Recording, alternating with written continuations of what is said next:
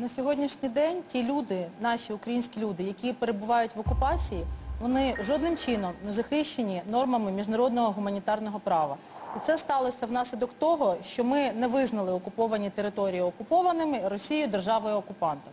Тому, аби це зробити, вже більше року в парламенті зареєстрований законопроект про окуповані території. І всі ті звернення від е, місцевих громад, які на сьогоднішній день наявні в підтримку блокади, вони містять одну вимогу ухвалити закон про окуповані території. І я хочу ще повернутися до вашого попереднього питання. Ви казали, що є думки експертів, що начебто через блокаду і через рішення РНБО Європа зніме санкції.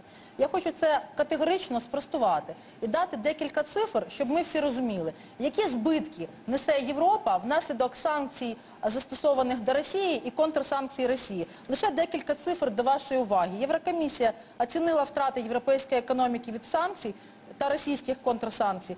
В 2015 році це 0,4% ВВП Європейського Союзу, це 50 мільярдів євро. Так я хочу спитати, Європейський Союз несе санкції, а Україна постачає експорт, е, на експорт озброєння в Росію, Україна фінансує терористів, Україна фінансує державу-окупанта, е, ті підприємства, які там здійснюють діяльність, платять податки.